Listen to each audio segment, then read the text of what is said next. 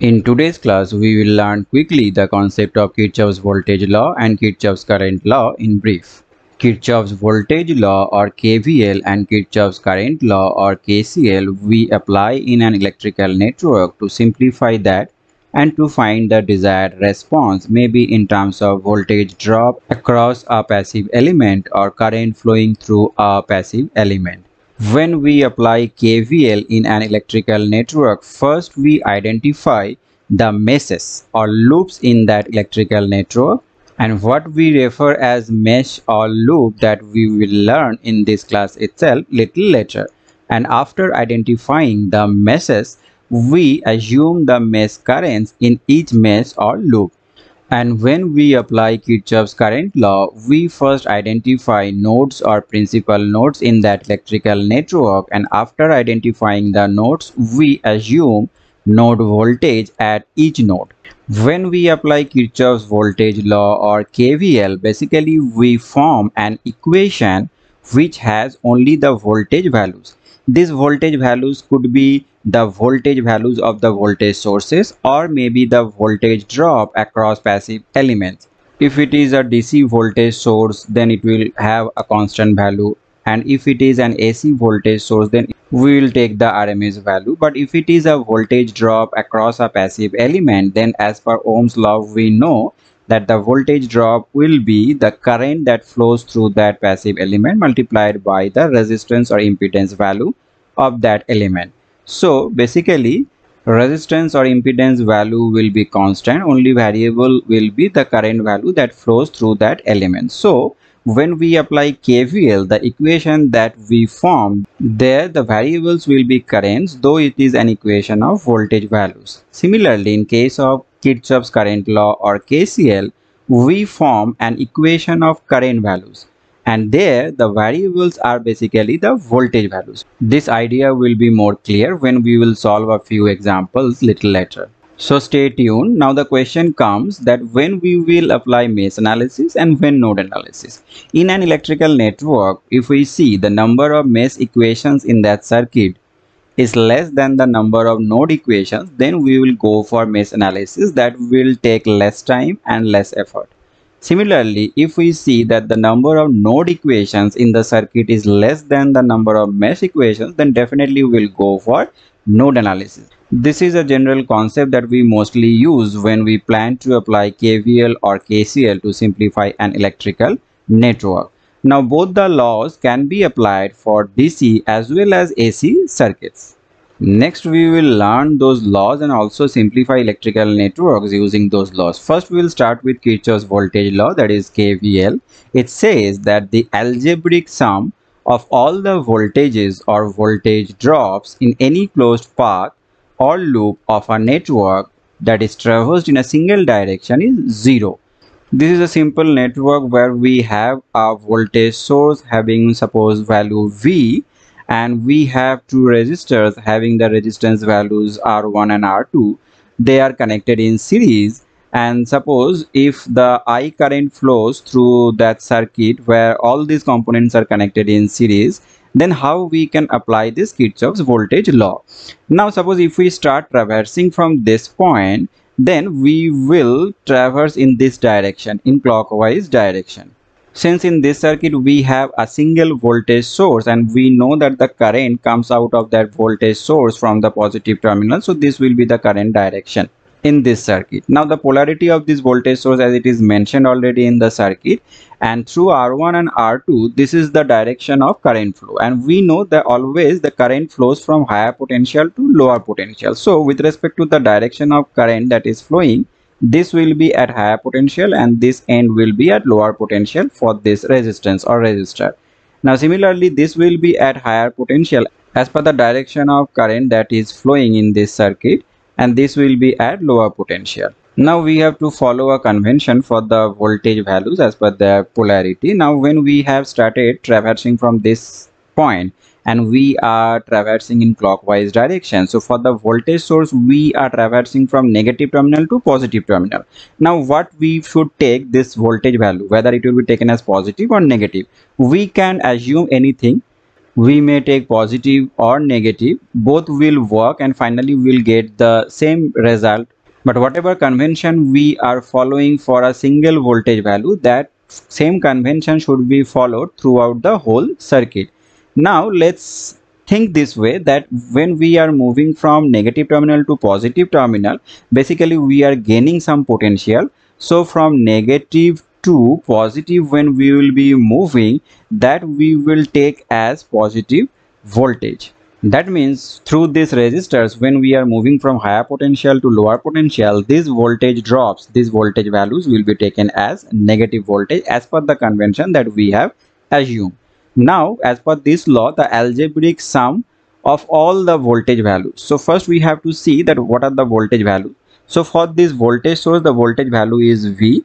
We are moving from negative to positive terminal as per this convention that will be taken as positive voltage. So this is plus V or we can simply write v now when this current is flowing through this resistor the voltage drop will be i multiplied by r1 and since here we are moving from positive to or higher potential to lower potential then this voltage value will be taken as negative. Similarly for the other resistor so that will be i multiplied by r2 and as per the law this algebraic sum of all these voltage values of voltage drop in an closed path or loop of a network will be 0 now here in this equation the unknown variable is i. So if we keep i at one side of the equation then it can be written as ir1 plus ir2 and this will be equal to v.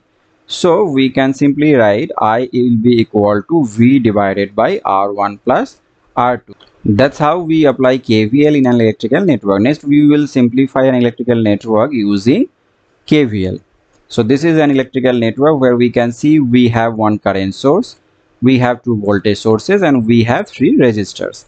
Now we can see that we have one complete mesh or loop here where we have one voltage source we have two resistors across which we can easily find or express the voltage drops here we have another mesh or loop where we have one voltage source and we have two resistors. Now here we have another mesh or loop where we have one resistor that is okay but we have a current source. But when we apply KVL, the equation that we form, that equation is basically of voltage values. But here we have one current source. So what we can do is we can convert or transform this current source into an equivalent voltage source. The concept of this transformation has already been explained in another class. The link is given in the description box. Now here since we want to apply KVL exclusively to learn that concept so here we are not identifying whether the number of meshes are less or number of nodes are less and which one will be suitable for this circuit straightforward we will be applying KVL only but before that we will be transforming this current source. Now we know when we will transform the current source into an equivalent voltage source the value of that voltage source will follow the Ohm's law. So the value of that voltage source will be current value which is 2 and the resistance value which is 10 so it will be 20 volt and the same resistance will be connected with the voltage source but this time it will be in series instead of parallel which is actually connected with the current source in the actual diagram. So after transformation the circuit will like this where we will have a voltage source having value 20 volt that we have already found. Then this 10 ohm resistance or resistors will be connected in series with that voltage source and then with that we already have a 10 volt voltage source here and then the rest of the part of the circuit remains same. Now what we will do here what we can see here is we have two separate meshes or loops where we will apply mesh analysis. So before that we have to assume some mesh or loop current. Say for the first loop this is our loop current and this is the direction of that current. Say this is i1 and for the second loop this is also flowing in the same direction. The current value is i2 so for the first loop suppose if we start traversing from this point then first we have the voltage source having value 20 volt. And this time we are traversing from negative to positive terminal. So it will be taken as positive voltage. Then we have this 10 ohm resistance and this i1 current will be flowing from higher potential to lower potential.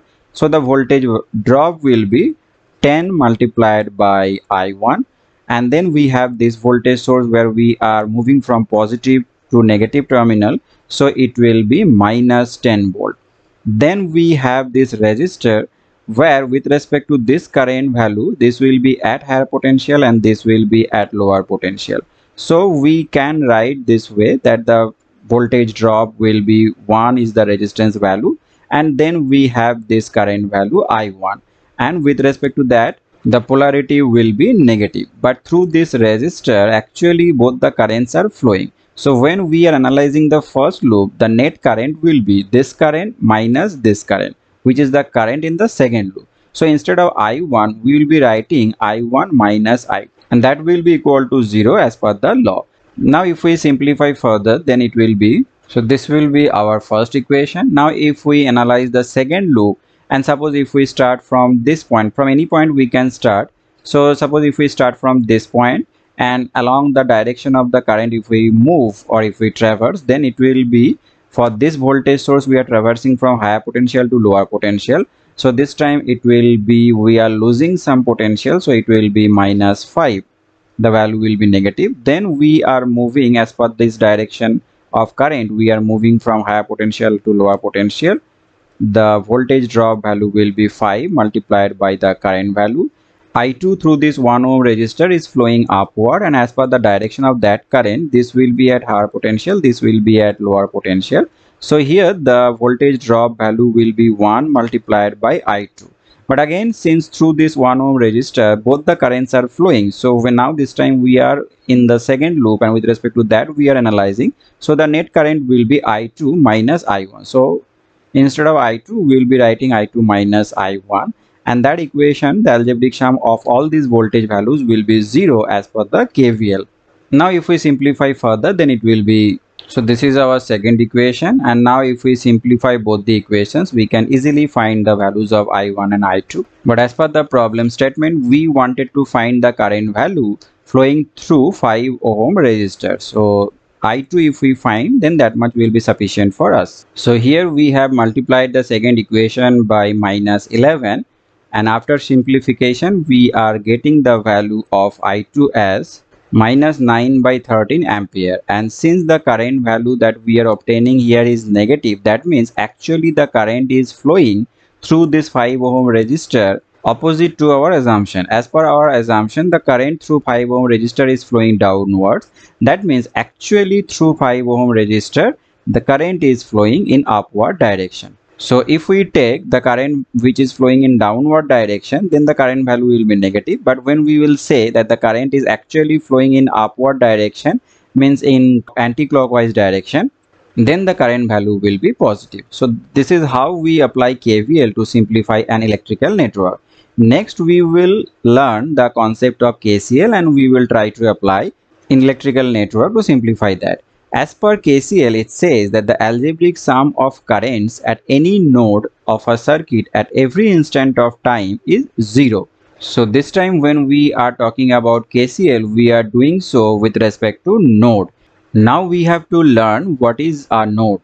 A node is a junction of two or more branches of an electrical network. This is an example of a simple network where we have one current source and three resistors. Let's assume that the current value of this current source is I and this current is getting divided into three parts and each part is flowing through each resistor let's assume that the current values through all these resistors are i1 i2 and i3 respectively. Now all these three currents are getting added at this point.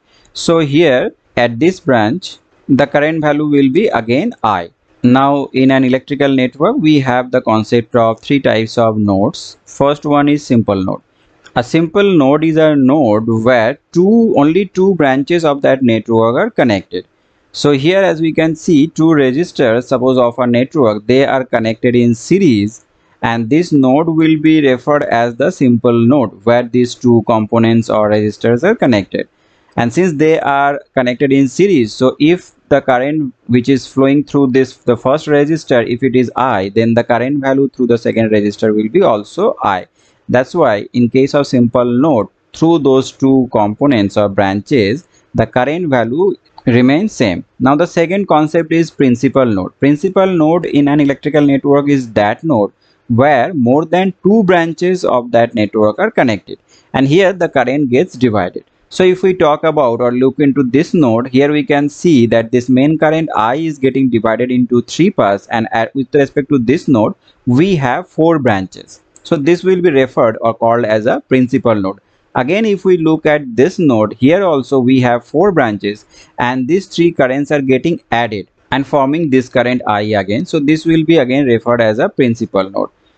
Among all the principal nodes that we have in an electrical network, the node which is which will be connected to the ground, that particular node will be referred as a reference node. Now as per KCL, we will see that what equation we can form here with respect to this node with respect to this node say a the main current i is an incoming current and all these three currents i1 i2 i3 are outgoing current so if we take the incoming current as a positive current then it will be written as i and all these outgoing currents with respect to that convention will be negative current so it can be or they will be written as i minus i1 then minus i2 and then minus i3 and then that equation will be equal to 0 so finally we can write I will be equal to I1 plus I2 plus I3. So can't we say that the algebraic sum of all the incoming currents in with respect to a particular node or entering that node will be equal to the algebraic sum of all the outgoing currents? Here though with respect to this node we have only incoming current but suppose if we had more than one incoming current then on the left side of this equation we would have had algebraic sum of all those incoming currents and on the right side of this equation we already have the algebraic sum of all these outgoing currents. And that's what it is written in the second line that the algebraic sum of currents entering our node is equal to the algebraic sum of the currents leaving our node. So entering our node means this will be referred as incoming current and leaving our node means all those currents will be referred as outgoing currents Next, we will simplify an electrical network using KCL. So this is our electrical network where we have three resistors and two current sources. Since this time we want to learn the concept of KCL and its application. So without analyzing the fact where the number of meshes will be less or number of nodes will be less in this circuit, we will go for KCL only now for if we want to apply KCL first thing we have to identify is how many principal nodes are there in this circuit. So as we can see here that we have at with respect to this node we have three branches. So this will be referred as our principal node which we mark as A. And here also at this node three branches are connected. So this will be again referred as a principal node. Now if we come at the bottom of this circuit we can see here at this node also we have one branch two branch and here we have three branches. And with respect to this node also we have one branch two branch and we have this branch as well. But it, between these two nodes we don't have any active or passive elements so basically these two nodes will be taken as a single node. And with respect to that node we have four branches. So this will be referred as a principal node so if we mark this as C, that means this node will be also a C node. Now there is another concept that when we apply KCL, one of the principal nodes is connected with the ground. So here the C node, if we connect with the ground, then the potential of this node will be 0 volt. Let's assume that the potential of node A is VA and of node B is VB. With respect to this node, we can see here that the direction of this current is incoming current. But for other two branches, we don't know the current direction. We will assume that through other branches, the currents are leaving. So they are outgoing currents. That means the potential of this node A, which we have assumed as VA, is at higher potential with respect to 0 volt and potential of VA is more than VB and if our assumption is incorrect then we will get negative result the way we have seen in case of KVL. Now if we apply KCL at node A then as per that law what we know is summation of or algebraic sum of all the incoming currents is equal to algebraic sum of all the outgoing currents. Now here we have only one incoming current with respect to node A so 10 we will be writing at one side of that equation and then algebraic sum of these two current values which are outgoing currents Now if we want to know the current value through this resistance then it will be we know as per Ohm's law V is equal to I multiplied by R.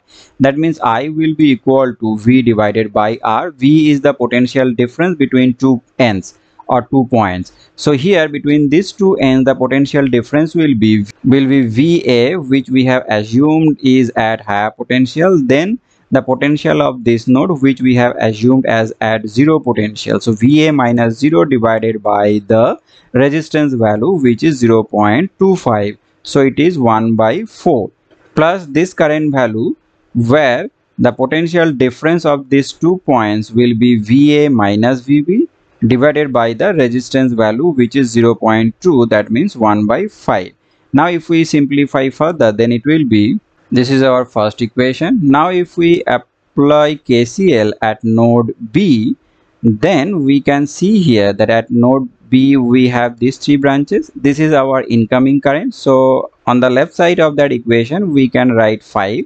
This is only incoming current and as per this node we don't know what are the direction of the currents which are flowing through these two components. For this resistance we will assume that the current is an outgoing current and through this resistance also we will assume that the current is outgoing current. And if it is an outgoing current then the current value will be this will be at higher potential and this is already at zero potential. So it will be vb minus 0 the way we have written for the first equation divided by the resistance value which is 0.5 that means half. Then plus this is also outgoing current so it will be algebraic sum of both the currents. So here vb now this time will be at higher potential with respect to va so the potential difference will be VB minus VA then divided by the resistance value which is same that is 0.2 that means it will be 1 by 5.